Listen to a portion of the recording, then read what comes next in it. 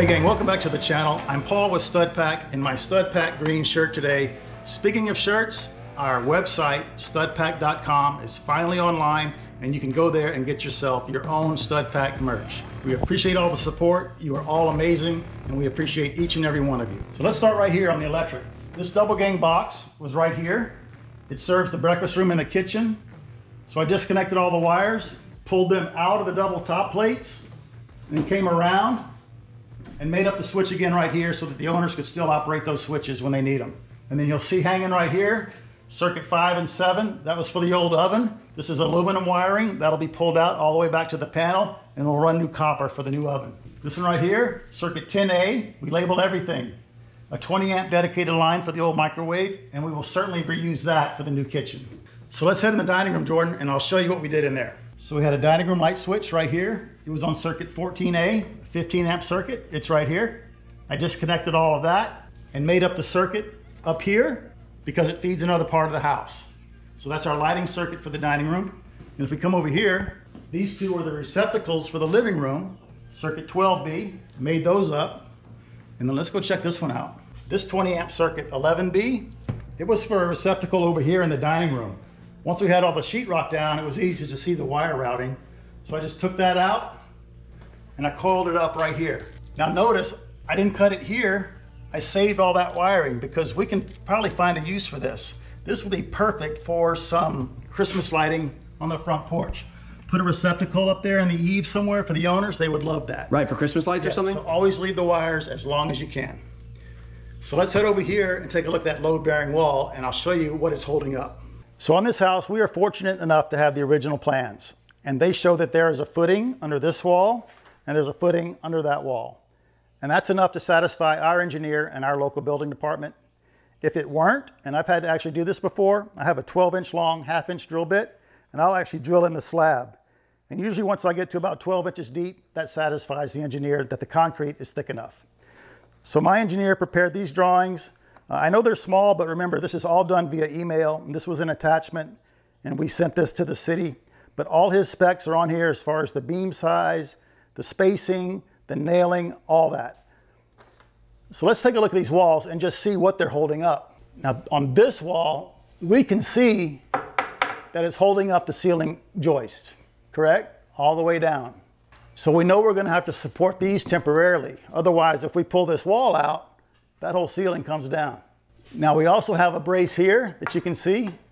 It's going up to the roof, as well as this one that's at a little bit of an angle. So we're gonna remove those two, but before we remove them, we're gonna replace them with a brace that's on top of our new wall. So we're gonna build a temporary wall right here to hold up the ceiling.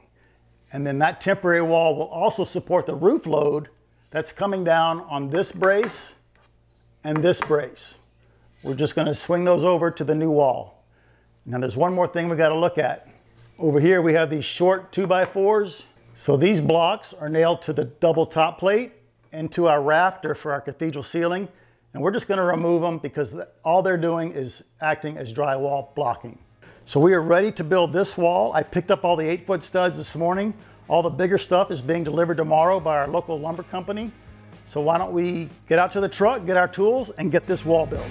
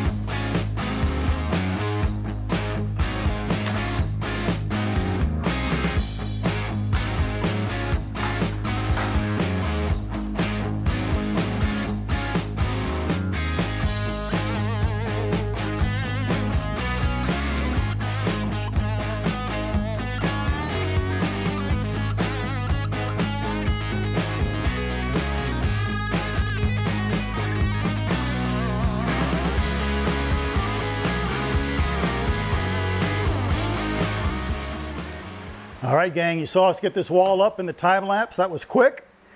Now, we used a pneumatic nail gun. We use my framing gun for that. A lot of people like to use screws. It's just your choice, whatever you want to do. I find it's easier just to pop a nail in there and pull it out later. Next thing you saw us using was this stick. We've shown this before. It's exactly five feet long. I marked save on it so we don't use it for something else. And that helps me measure. I can put it on the bottom plate, put the top of my tape up there, and then I just add five feet to this dimension. That way I'm not on the ground trying to read a tape measure or bend it. You know what I'm talking about, right? So good tip to save your back and your knees. So our last step is to jump in the attic and we have these two braces supporting the roof. So I'm gonna jump up there and move those and Jordan's gonna stay on the ground and be my cut man. So let's get those moved and then we can remove this wall.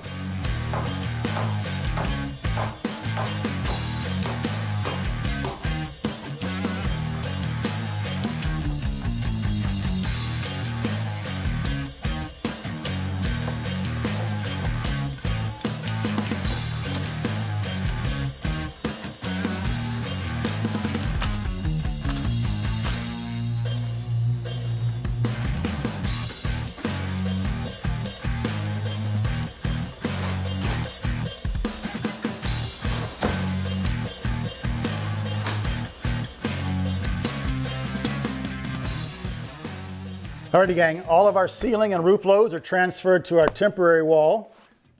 Now we can safely remove this load bearing wall. Just gonna use my sledgehammer and knock these studs off the bottom plate.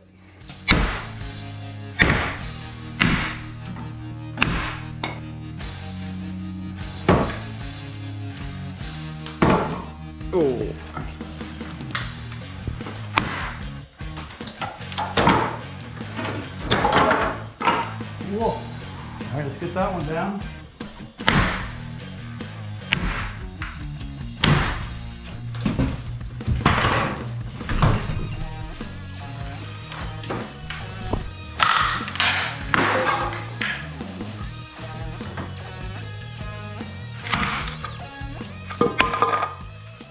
All right, gang, it's the next day. Jordan and I were beat yesterday after doing all that work. We're well rested and we're full of energy to install this beam. It's a lot of work. So what I'm gonna do on this beam, that beam gets installed right up here in this space. And the bottom of the beam is gonna be flush with the bottom of these two by six ceiling joists in the kitchen and the breakfast area. So that's where our beam goes there. But then how do I know where it ends here? So the plans call for a pantry to go right here. So this bottom plate or sill plate is gonna remain. There'll be a new wall right here. And that's gonna be our walk-in pantry.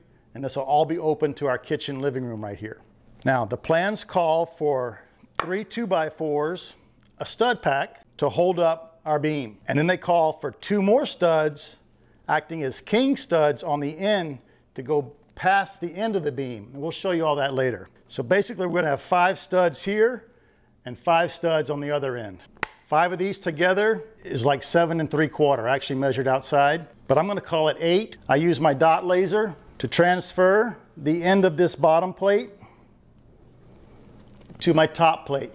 So the reason I went eight inches back from here is because it's gonna be easier for me to build from this end back in this direction and cut off any extra rather than risk having this one overhanging a little bit. Do not want that at all. That's the reason for going a little bit more than we need on this bottom plate. And we're only sacrificing a fraction of an inch Yeah. in the pantry. Yeah, Right. less than half. I measured eight inches back, and this is my cut line for my top plates.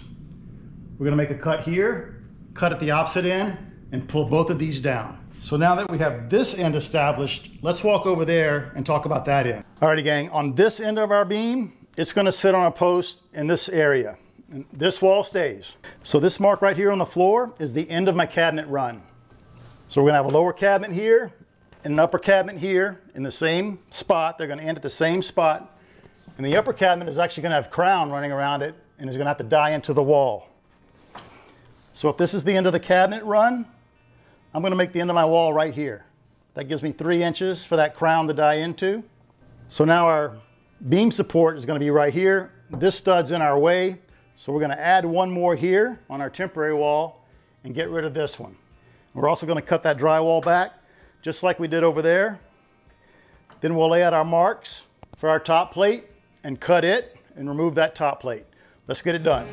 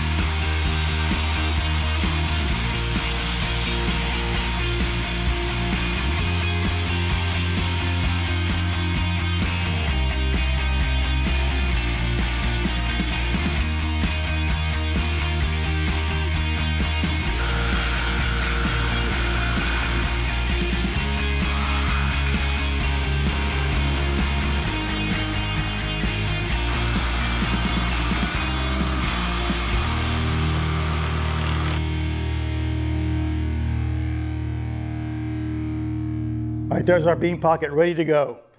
It was a lot of work to get to this point. Now all we need is some lumber. As a matter of fact, I think I hear a truck outside. Let's go see if that's our guy. If it is, I'm glad he's here. I've had a bad feeling about this lumber delivery all day.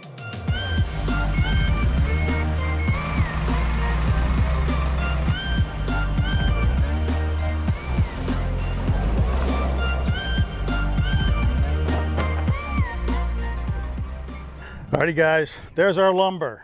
But you know what? It's all two by fours, no LVLs. So I called my guy at the lumber yard. He said it'll be next week before they're delivered. So really disappointed in that, but kind of a typical thing contractors run into. You promise one thing, but you delivered another.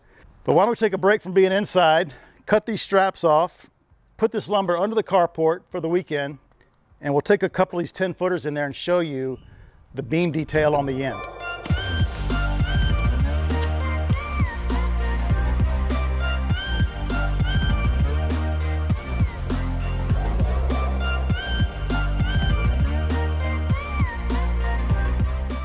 Alrighty guys, we got all the wood under the carport protected from the weather. But before we go inside, check this out. We did a little dumpster diving. I went home last night, read all your comments about this oven, and you know what guys, you were absolutely right. So we pulled it out of the dumpster, we cleaned it up, put a sign on it, and we're gonna bring it to the street, and I bet it's gone before those beams get here. This is a huge subdivision. I'm sure there's somebody here who has an oven that doesn't work. And that old cooktop, that glass top cooktop, Two of the burners didn't work and it didn't even have any knobs and the glass is cracked. So it's trash, but we're gonna save this. Let's get it out to the street.